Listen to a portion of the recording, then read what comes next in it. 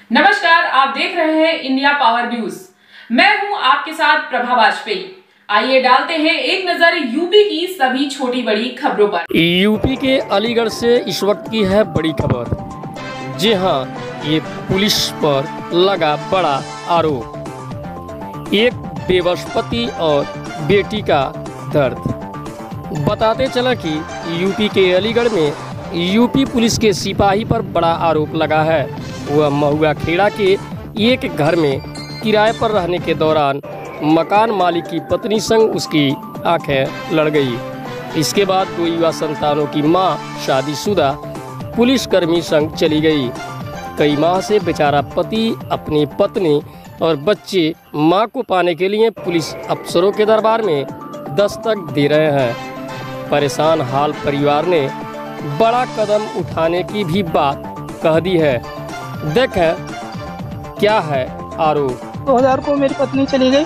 पहले वो गई, उसके बाद में जसवंत सिंह मेरे यहाँ से खाली करके चला गया, कि मेरे ट्रांसफ़र हो गया जब वो यहीं था और मेरी पत्नी को लेकर रह रहा था।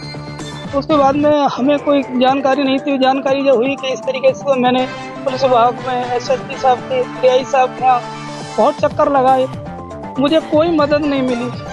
पुलिस विभाग की तरफ़ से कोई ने ये कह दिया कि तुम्हें जेल में डाल देंगे। मुझे धमकियाँ दी गई। और उसके प्रति कोई कार्रवाई नहीं की। गई मैं केवल योगी सरकार से यही कहना चाहता हूँ, हाथ जोड़ के यही विनती करता हूँ कि योगी सरकार आठ मिनट में न्याय दिला रही है। आठ मिनट में मुझे ढाई साल हो गया, ढाई साल से मुझे कोई न्याय नहीं मिला। प्रशासन प्रशासन के प्रति क्या भरोसा रखें हम लोग? क्या न्याय की उम्मीद करें इस वर्दीधारियों से? क्या उम्मीद करें हम इन वर्दीधारियों से? इन्होंने मेरा हंसता खिलता परिवार उजाड़ दिया। परिवार उजाड़ दिया, मिट्टी मिला दी। हम मुर्दे के समान हम रोज मरते हैं और रोज जीते हैं हम लोग। केवल एक पुलिस बारे की वजह से, एक पुलिस विभाग के ड्राइवर यशवंत सिंह यादव की वजह से मेरे बच्चे अनाथ हो गए, बिना माँ के हो गए। अधिकारियों के चक्कर लगा रहा हूँ। मैं सत्ताईस दिसंबर को मैंने एसएसपी साहब को एप्लीकेशन दी। उन्होंने मुझे धमका भगा दिया, डीआई साहब के पास गया, थाने गया, चौकी गया। मुझे धमकी दे दे के आया, कोई कार्रवाई नहीं हुई। मुझे परेशान परेशान क्या? आत्महत्या करने के लिए करता कि हम तीनों मर जाए। योगी सरकार को इनाम दे हम मर मर के। योगी सरकार में हमें न्याय मिल रहा है। आठ मिनट में न्याय दे रही है। खाकी हमें न्याय दे रही है। हम क्या करेंगे जी कि समाज के डर से मर गए, जिसकी समाज में इज़्ज़त थी, उसका जीना क्या? वो मरी है और हम वास्तव में मरे हुए हैं आज। एक इस आदमी ने दो परिवारों को उजाड़ दिया। बच्चे अनाथ कर दिए। क्या न्याय को उम्मीद करें हम? क्या न्याय को उम्मीद करें योगी सरकार? योगी सरकार कहती था न्याय देंगे। शिवी क्या हुआ है? मेरी मम्मी आठ दो आठ आठ दो हज़ार बाईस को यशवंत सिंह यादव के साथ चली गई थी। हमने उस में मतलब हमारा हंसता खेलता हुआ परिवार था।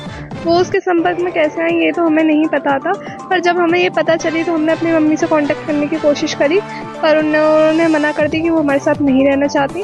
फिर जब हमें पता चला कि ये पुलिस कर्मी है तो हम लोगों ने एसएसपी डीआईजी सबके सबके चक्कर लगाए बट उन्होंने कोई कार्रवाई नहीं करी। उन्होंने हमें घुमाया और एंड में आके बोल दिया कि हम कोई कार्रवाई नहीं कर सकते हम तुम लोगों को जेल में डालेंगे अगली बार से हमारे पास आए तो। क्योंकि वो पुलिस का आदमी था। अब कितने दिन से आप लोग अपनी मम्मी को पाने के लिए हम लोग दिसंबर से लगा रहे हैं कि कोई कार्रवाई हो इसमें उसके प्रति। कहीं न्याय नहीं मिल। रहा कहीं न्याय नहीं मतलब सब हमें घुमा रहे हैं। आज आज भी आप पुलिस के दरबार में गए। हाँ बट कुछ नहीं हुआ वहाँ पर। For watching this video television दुनिया की छोटी बड़ी न्यूज़ के लिए हमारा चैनल सब्सक्राइब करना मत भूलिए। अगर आपको हमारा वीडियो पसंद आए तो कमेंट लाइक ज़रूर करना। फिर मुलाकात होगी अगली वीडियो में।